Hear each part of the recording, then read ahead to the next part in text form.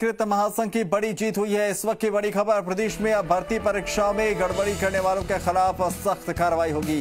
राज्य सरकार की ओर से इस संबंध में सख्त कानून लाने की तैयारी है। राज्य सरकार ने नए कानूनी प्रावधान लाने की घोषणा कर दी है। महासंघ की ओर से लंबे समय से इस संबंध में मांग की जा रही थी। पिछले दिनों महासंघ अध्यक्ष उपेन्द्र यादव ने मुख्यमंत्री से मुलाकात की थी। मुलाकात के दौरान गड़बड़ी करने वालों के खिलाफ सख्त कानून लाने की मांग उठाई गई थी और अब जो है बेरोजगारों की जीत होती नज़र आ रही। जिस तरह से बीते कुछ समय में लगातार परीक्षाओं में धांधलियों की खबर सामने आई, अब जो है, इसको लेकर सरकार सख्त कानून बनाने पर राज़ी हो गई है और इसको लेकर घोषणा कर दी गई है। तो बेरोजगार एकीकृत महासंघ की यह बड़ी जीत, प्रदेश में अब भर्ती परीक्षाओं में गड़बड़ी करने वालों के खिलाफ सख्त कार्रवाई होगी। इस संबंध में सख्त कानून लाने, लाया जाएगा। राज्य सरकार ने नए कानूनी प्रावधान की घोषणा कर दी है।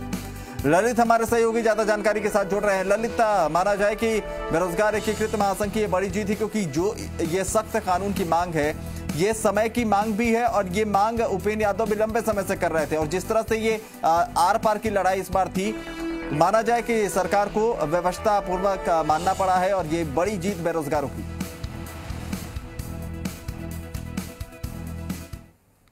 हुई हैं उनमें कहीं ना कहीं नकल के मामलों ने प्रदेश का नाम देश में खराब किया है हाँ। राजस्थान बेरोजगार एकीकृत महासंघ की ओर से लंबे समय से ये मांग उठाई जा रही थी कि गड़बड़ी करने वाले नकल करने वाले नकल करवाने वाले इसके साथ ही गड़बड़ियों में शामिल प्रत्येक उस व्यक्ति के ऊपर सख्त से सख्त कानून लाया जाए हम्म। जो ऐसे मामलों में लिप्त होते हैं पिछले हफ़्ते हमने देखा था कि जब महासंघ के अध्यक्ष उपेन्द्र यादव ने मुख्यमंत्री अशोक गहलोत से सीएमओ में मुलाकात की थी तो सीएमओ मुलाकात के दौरान भी इस मांग को पुरजोर तरीके से उठाया था कि यदि भर्तियों में गड़बड़ी करने वालों के खिलाफ सख्त कदम लाया जाएगा तो कहीं ना कहीं ये जो भ्रष्टाचार की जड़ें हैं ये खत्म होंगी और हम्म। परीक्षाएँ पारदर्शी तरीके से होंगी। पिछले तीन दिन से उपेन यादव आमरण अनशन पर बैठे हुए हैं। उनकी जो इक्कीस सूत्री मांगे हैं उनमें ये एक महत्वपूर्ण मांग है जिसको लेकर भी मेंशन कर रहे थे। हम्म। आज मुख्यमंत्री अशोक गहलोत की ओर से ये बड़ी घोषणा कर दी गई है कि भर्ती परीक्षाओं में गड़बड़ी करने वाले उन तमाम लोगों के खिलाफ सरकार की ओर से सख्त कानून लाया जाएगा। जो परीक्षा को किसी भी प्रकार से दूषित करते हों, फिर वो चाहे नकल करने वाले हों, नकल करवाने वाले हों डमी अभ्यर्थी बिठाने वाले हों या हाँ। पेपर को आउट करने वाले हों।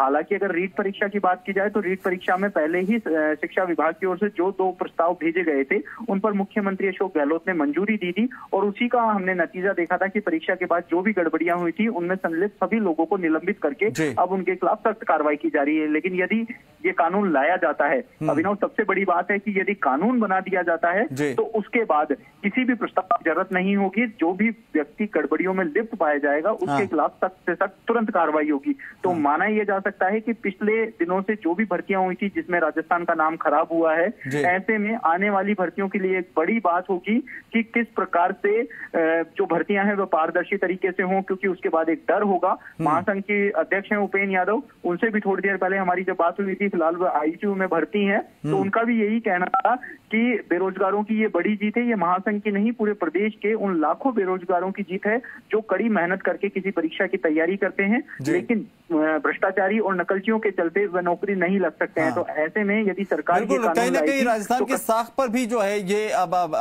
सवाल खड़े होने लगे थे क्योंकि जिस तरह से एक के बाद एक परीक्षा में इस तरह की धांधलियाँ सामने आ रही थी। लेकिन ललित सवाल यह है कि इस मांग को सरकार ने मान लिया है तो अब क्या माना जाए जिस तरह से बेरोजगार डटे हुए उपेन्द्र यादव डटे हुए हैं बेरोजगार एकीकृत महासंघ की तरफ़ से जो प्रदर्शन किया जा रहा है बाकी जो दूसरी मांगे हैं उस पर भी जल्द ही सरकार अपना रुख स्पष्ट कर सकती है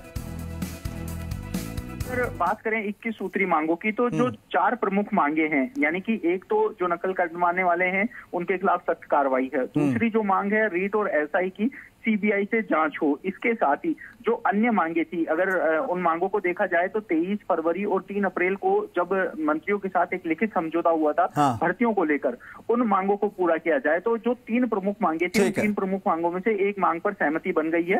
दो प्रमुख मांगे हैं उनको लेकर अभी भी अनशन जारी है संभावना ये जताई जा रही है कि आने वाले एक दो दिन में उनकी अन्य मांगों पर सहमति बन जाएगी और जो गतिरोध चला रहा है बेरोजगारों और सरकार के हाँ। बीच में ये कहीं ना कहीं दूर होता हुआ नज़र आएगा।